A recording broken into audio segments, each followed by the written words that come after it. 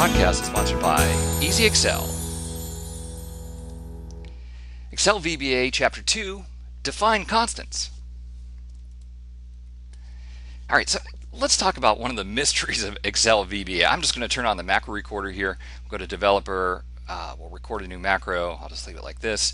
We'll put in some stuff, some other stuff. And then uh, let's do some formatting here. I'll uh, take that first word and align right, and the second word will align center, and uh, maybe do some vertical align top with that one. All right, good enough. Stop. Let's go take a look at the code.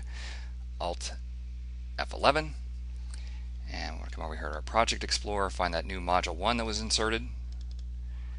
All right, here we go. Now let's look at this. XL right. XL right.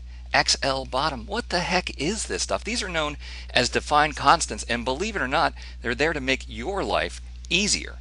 In reality, in reality, what should be happening, I'm going to come down here and say print XL right.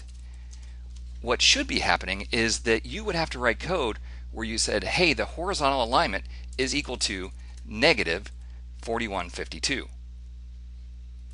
All right. Think about how horrible that code would be. So whoever came up with B VBA decided that negative 4152 was what XL right is uh, is the when you write a line, you're going to use negative 4152. XL bottom, let's take a look at that. That's negative 4107. Who would ever remember this stuff?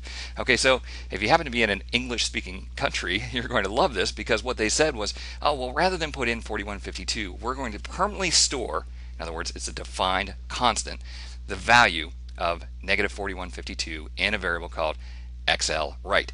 So beautiful thing is you don't have to remember 4152 because who would ever remember that? You just have to remember XL right.